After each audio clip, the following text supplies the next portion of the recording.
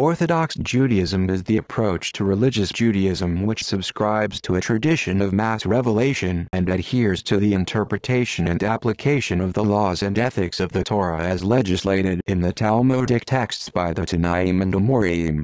These texts were subsequently developed and applied by later authorities, known as the Gaonim, Rishonim, and Acharonim. Orthodox Judaism generally includes modern Orthodox Judaism and ultra-Orthodox or Haredi Judaism, but complete within is a wide range of philosophies.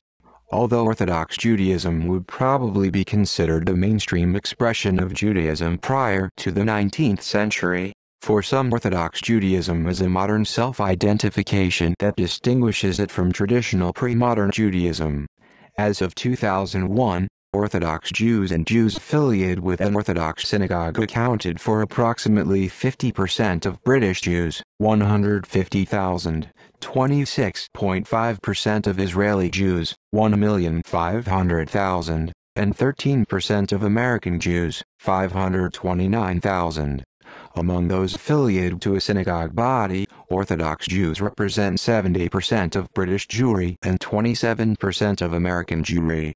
While some claimed that the majority of Jews killed during the Holocaust were religiously Orthodox, numbering between 50-70% of those who perished, researchers have shown that Jewish Orthodoxy was nearly extinct at the time, consumed by the Jewish Enlightenment, secular Zionism and the socialist movements of pre-war Europe. Orthodoxy is not a single movement or school of thought. There is no single rabbinical body to which all rabbis are expected to belong, or any one organization representing member congregations.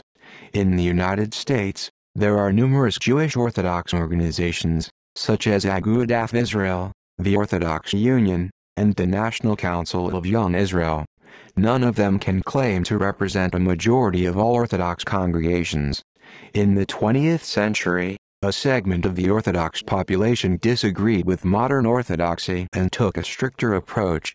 Such rabbis viewed innovations and modifications within Jewish law and customs with extreme care and caution. This form of Judaism may be referred to as Haredi Judaism or ultra-Orthodox Judaism. The latter term is controversial because some consider the label ultra-Orthodox pejorative.